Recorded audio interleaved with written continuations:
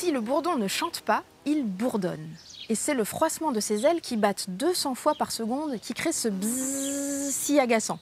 Un coup il est ici, l'autre là, il virevolte dans tous les sens sans logique évidente. Il peut nous rendre fous. Eh bien, le bourdon du compositeur russe Nikolai Rimsky-Korsakov, c'est pareil.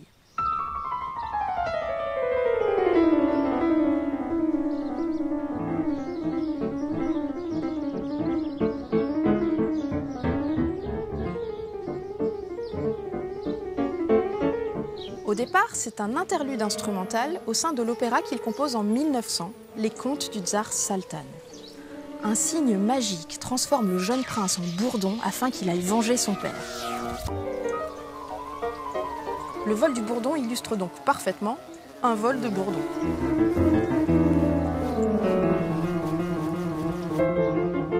D'où son tempo qui va très vite. Presto est-il écrit sur la partition.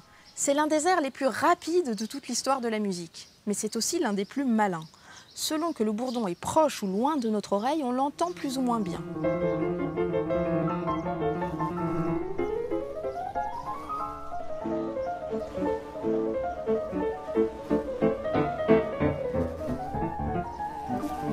C'est pourquoi certaines notes sont jouées pianissimo, tout doucement, et d'autres fortissimo, très fortes.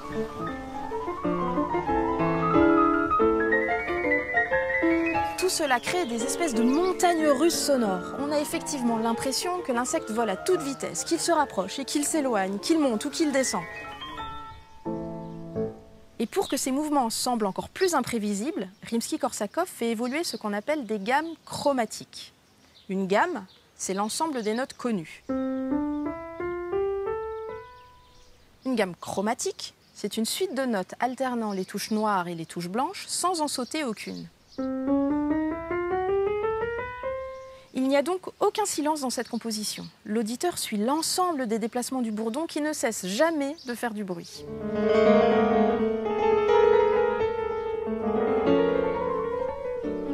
La partition que je joue là est une partition pour piano, réarrangée 20 ans plus tard par un autre compositeur russe, Sergei Rachmaninov.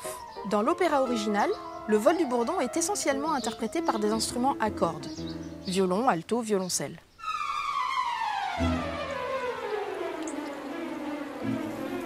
Le début du morceau évoque d'ailleurs la métamorphose du prince en bourdon, une avalanche de notes qui sonne comme une formule magique. D'emblée, le frottement de l'archet sur les cordes est le meilleur moyen de reproduire le bzzz de l'insecte.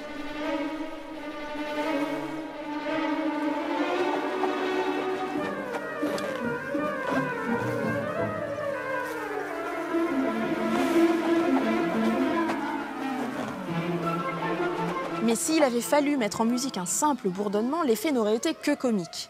Non, ce qu'il y a d'admirable dans cette pièce, c'est son côté épique. On ressent clairement la flamme du prince, prêt à tout pour venger son père. On entend le défi et l'aventure, on sent que ça va vite, comme dans un film d'action.